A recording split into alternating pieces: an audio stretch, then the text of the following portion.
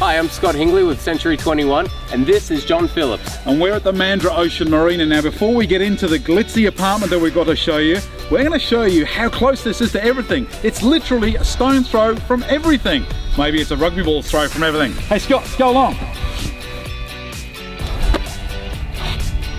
Some of the best restaurants, bars and beaches right at your doorstep.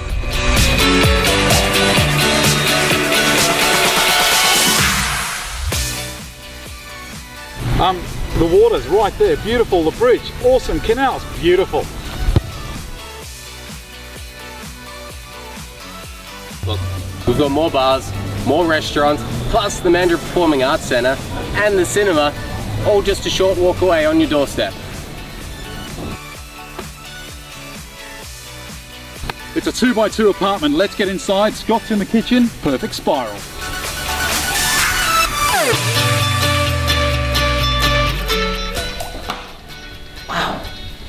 That was a perfect spiral with a banana. Well, come take a look at this. Beautiful kitchen, stone countertops to the open plan living. We've got a split system air conditioning so you stay comfortable all year round. Take it away, John. Okay, two cool bedrooms, really good in size, and the master bedroom with an amazing view out to the balcony. That's where Scotty is. Okay, check out this amazing balcony, perfect for entertaining.